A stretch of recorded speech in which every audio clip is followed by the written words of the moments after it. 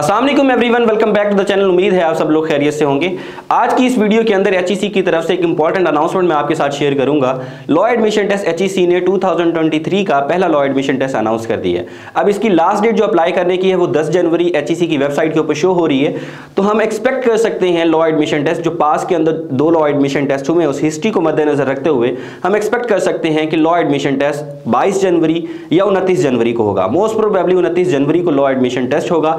इस हवाले से कुछ अपडेट्स हैं जो कि मैंने आप लोगों के साथ शेयर करनी है, जो कि इसके अप्लाई प्रोसीजर के अंदर इन्होंने चेंजिंग्स की हैं और लॉ एडमिशन टेस्ट का आपको पता है लॉ एडमिशन टेस्ट का कोई सिलेबस नहीं है। तो उसके अंदर उन्होंने कुछ सब्जेक्ट्स के अंदर चेंजिंग्स की हैं, उसके अंदर जो पोर्शन वो डिस्कस करते थे, उस, उससे हटकर कुछ चीज़ें पूछी जा रही हैं। तो उसके बारे में आज की इस वीडियो के अंदर हम लोग डिस्कस करेंगे ताकि स्टूडेंट्स मिस्टेक ना करें और मैक्सिमम नंबर जो है लॉ एडमिशन टेस्ट के अंदर स्कोर करें। वीडियो में आगे बढ़ने से पहले अगर आप लोग लॉ एडमिशन टेस्ट की प्रिपरेशन कर रहे हैं और किसी क्रेडिबल रिसोर्स के थ्रू आपने इसकी प्रिपरेशन करनी है तो हमारा लॉ एडमिशन टेस्ट का थर्टीन बैच अनाउंस हो चुका है। हम वेबसाइट के थ्रू इसकी प्रिपरेशन करवाते हैं पिछले चार साल से। और अगर आप लोग देखना चाहते हैं हम किस तरह से प्रिपरेशन करवाते हैं तो नीचे व्हाट्सएप का एक नंबर आ रहा होगा। आप उसके ऊपर कॉन्टैक्ट करके हमारे काउंसलर के थ्रू डेमो वीडियोस देख सकते हैं कि हम किस तरह से इसकी प्रिपरेशन करवाते हैं। अब हम लोग बात करते हैं लॉ एडमिशन टेस्ट के अप्लाई करने की। जो प्रोसीजर इन्होंने चेंज किया है, पिछले दो लॉ एडमिशन टेस्ट के अंदर इन्होंने चेंजिंग्स की है। मगर उसके बावजूद भी स्टूडेंट्स काफ़ी दफ़ा मैंने देखा कि एच के थ्रू सिंपल जिस तरह से चलान उसका पे करना होता था एच के थ्रू ऑनलाइन बैंकिंग को यूज़ करते हुए चलान स्टूडेंट्स पे कर देते हैं। तो ऑनलाइन बैंकिंग आप लोगों ने नहीं करनी, चलान आपने उस वक्त तक पे ही नहीं करना जब तक आप लोग वहाँ से जाकर वेबसाइट्स के ऊपर से जनरेट नहीं कर सकते। तो ईटीसी e के ऊपर आपने सिंपली जाना है। ईटीसी e के ऊपर आपने जाकर सबसे पहले आपने पर्सनल इन्फॉर्मेशन देनी होती है। पर्सनल इन्फॉर्मेशन के बाद जब आप नेक्स्ट सेक्शन के अंदर जाते हैं लॉ एडमिशन टेस्ट के लिए जहाँ पर आप अप्लाई कर रहे होते हैं तो वहाँ पर जनरेट चलान का एक ऑप्शन आ रहा होता है। तो सिंपली आपने उसके ऊपर क्लिक करना है, आपका चलान जनरेट हो जाएगा। वो चलान आपने HBL के अंदर जाकर मैनुअली आपने पे करना है। पे करने के बाद उसकी आपने पिक्चर बनानी है। पिक्चर बनाकर उसको आपने वहाँ पर अपलोड करना है। अगर वहाँ पर दिया गया कि आप इसको पीडीएफ में कन्वर्ट करके आपने अपलोड करना है तो आप ऑनलाइन गूगल से उसको कन्वर्ट कर लीजिएगा और वहाँ पर आपने पीडीएफ अटैच करना है और फिर उसके बाद टेस्ट सेंटर सेलेक्ट करने के बाद आपने वहाँ पर अप्लाई कर देना है। अच्छा यहाँ पर वो वाले स्टूडेंट जो अभी सेकंड ईयर के अंदर हैं लॉ एडमिशन टेस्ट देना चाहते हैं तो मैं उनको यहाँ पर इंकरेज करूँगा कि आपने लॉ एडमिशन टेस्ट अभी दे देना है, क्योंकि काफ़ी सारे ऐसे इंस्टीट्यूट्स होते हैं जो कि जून, जुलाई के अंदर अपने एडमिशन अनाउंस कर देते हैं तो आपने अगर ये वाला लॉ एडमिशन टेस्ट दिया होगा तो आप ऐसे तमाम इदारों के अंदर एलिजिबल होंगे लॉ में एडमिशन लेने के लिए। अब इसके बाद अगर हम लोग बात करें तो एच e ने थोड़ी सी चेंजिंग्स की हैं लॉ एडमिशन टेस्ट के हवाले से।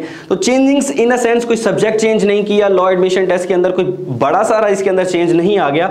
मगर क्योंकि आप जानते हैं कि लॉ एडमिशन टेस्ट का एक तो सिलेबस भी नहीं है, उसके बावजूद हमें जो इसका पता चलता है कि किस नेचर के एग्जामिनर क्वेश्चन देता है, वो सारा का सारा हमें उसके पास पेपर से पता चलता है।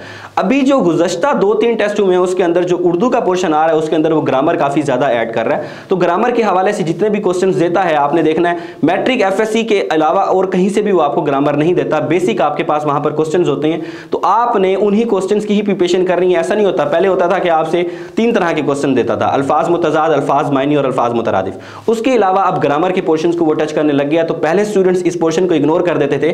दस नंबर का ये पोर्शन है। तो आपके लिए एक एक नंबर कीमती है। तो आपने ग्रामर के पोर्शन को साथ में ज़रूर देखना है। ऐसा नहीं करना, क्योंकि मैंने इसके हवाले से पहले वीडियोस भी बनाई हुई है, जिसके अंदर मैंने आपको बताया था कि ये तीन तरह के क्वेश्चन आते हैं। आपने बस उसी को प्रिपेयर करना है। तो अब पिछले जो दो टेस्ट हो रहे हैं, उसके अंदर की चेंजिंग्स आ रही हैं। तो ग्रामर का पोर्शन आपने साथ में ज़रूर करना है।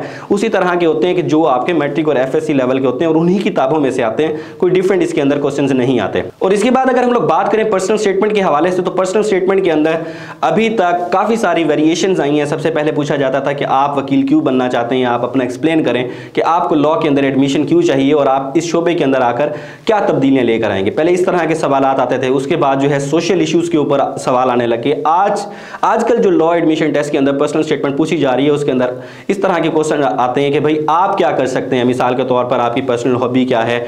आप एजुकेशन के सेक्टर के अंदर आकर क्या करना चाहते हैं? या फिर आप अपनी पॉकेट मनी किस तरह से कमा सकते हैं? इस तरह के डिफरेंट क्वेश्चन जो है वो आते हैं। तो आपने इस तरह के सारे क्वेश्चन जो है वो प्रिपेयर करने सबसे पहले आपको डिफ्रेंशिएट करना आना चाहिए कि लॉ एडमिशन टेस्ट के अंदर जो पर्सनल स्टेटमेंट और ऐसे का पोर्शन है, मिसाल के तौर पर दोनों के अंदर आपके पास को एजुकेशन से रिलेटेड आपके पास क्वेश्चन आ गए। एक आपने को एजुकेशन के ऊपर ऐसे लिखना है, दूसरा आपसे राय पूछी जाएगी। को एजुकेशन से रिलेटेड आप क्या समझते हैं कि ये ठीक है या गलत है? दोनों को आप लोग जब तक डिफ्रेंशिएट ही नहीं कर सकेंगे तो आप उसके उसके ऊपर लिखेंगे किस तरह से। तो इस हवाले से हमारे चैनल के ऊपर अपडेट्स आती रहेंगी। आप हमारे चैनल को सब्सक्राइब करें और उम्मीद करता हूँ आज की इस वीडियो से जो बेसिक आपकी कन्फ्यूज़न है, वो सारी क्लियर हो चुकी होंगी। तो मिलता हूँ अगली वीडियो में। थैंक यू वेरी मच अल्लाह हाफिज़।